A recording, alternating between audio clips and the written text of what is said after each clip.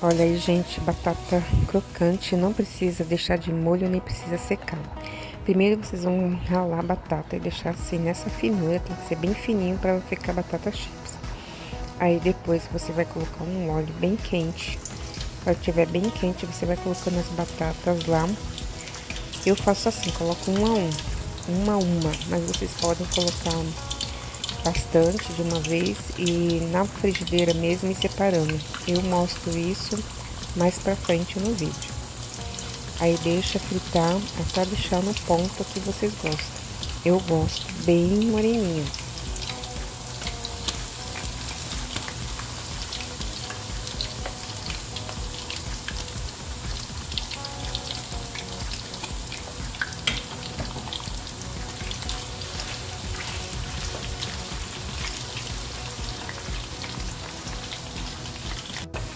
Olha, tá quase bom. Aqui já daria pra tirar, pra quem gosta nesse ponto. Mas eu vou deixar dar uma tostadinha.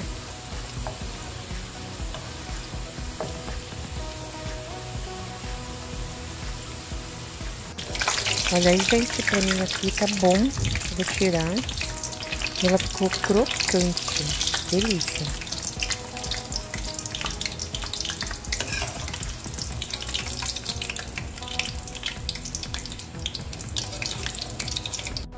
Agora aqui eu vou colocar numa outra, fazer uma outra versão.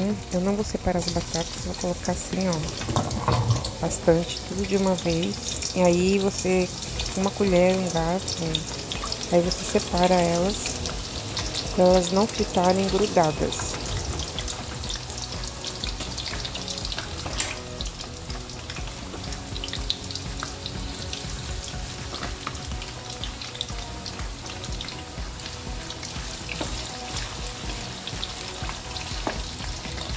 Olha aí, gente, separei todas para elas ficarem bem soltinhas.